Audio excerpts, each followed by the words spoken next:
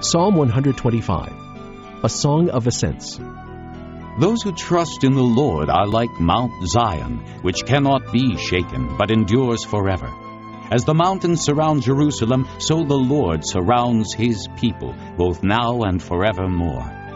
The scepter of the wicked will not remain over the land allotted to the righteous, for then the righteous might use their hands to do evil.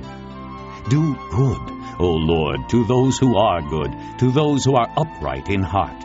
But those who turn to crooked ways, the Lord will banish with the evildoers. Peace be upon Israel.